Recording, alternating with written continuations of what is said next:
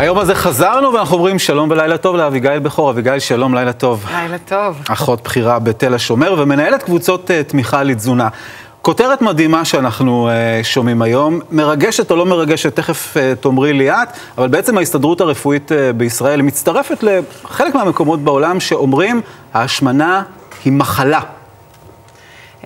אני לא מקבלת את ההגדרה הזאת. אני חושבת שאם אתה מגדיר את העניין הזה כמחלה, אתה מעצים את הבעייתיות שבאה עם השמנת, עם השמנת יתר. Mm-hmm. אני חושבת שמי שאחראי לעובדה שההשמנה הפכה להיות מחלה בעיני ההסתדרות הרפואית, היא בעצם הניהול של כל הנושא של עודף משקל, מהלך שנים ארוכות.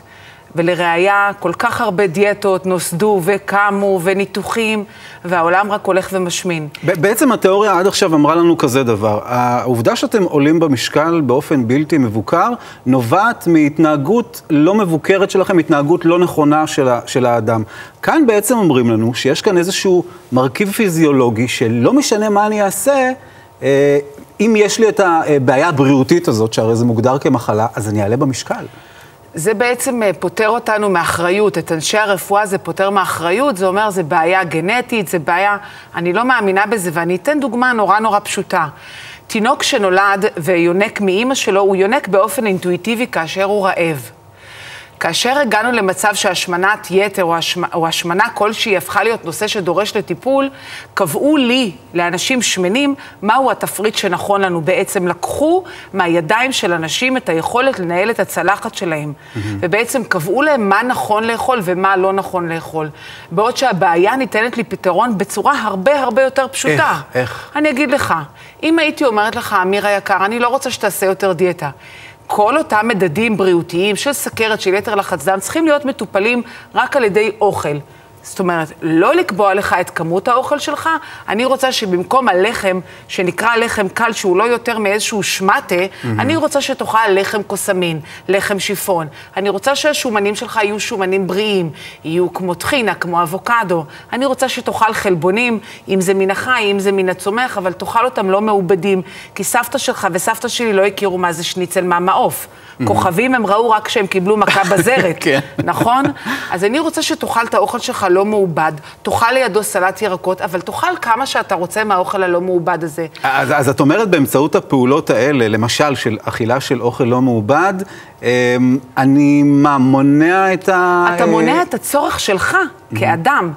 לאכול מהדברים שהם פחות בריאים, להגיד למישהו אל תאכל את זה או אל תאכל את זה, לא מקדם הרזייה. מה יוצא בסופו של עניין? תחשוב על כל אותם אנשים שירדו במשקל ועלו בחזרה. אמרו להם אסור עוגה, אסור עוגה, אסור עוגה. זה עזר?